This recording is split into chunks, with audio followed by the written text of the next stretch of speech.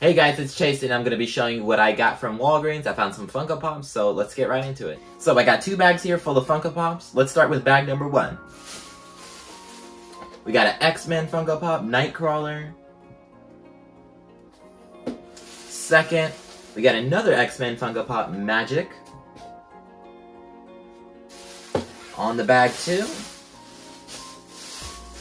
we got another X-Men Funko Pop, Bishop from X-Men. And last, we got a Marvel Funko Pop, Elsa Bloodstone. So we got four Funko Pops. So let me tell you more about them. First off, we got Elsa Bloodstone. She is a badass monster hunter who wears a Bloodstone gem inherited by her father that gives her superhuman powers. She's a Walgreens exclusive. Let me show you the sides. Next up, we got Nightcrawler from X-Men. He's a mutant hero with a demonic look, and he possesses teleporting abilities.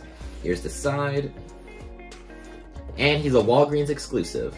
Next up, Bishop is a mutant hero with the power to absorb energy that is directed towards him and to release that energy from his body. Kind of like a return to sender ability. He takes in he takes in damage and he absorbs that and can release that out from his body. And he's a Walgreens exclusive.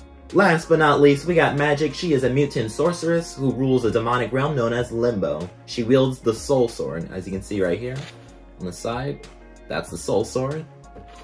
She's from X-Men, and she's a Walgreens exclusive. And she's part of the set right here. As you can see, you got Bishop and Magik. Boom, one set.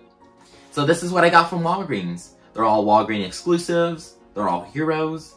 And if you guys like this video, please leave a like if you want to see more content like this. Subscribe, and let me know in the comments below what your favorite character was. And I'll see you guys in the next one.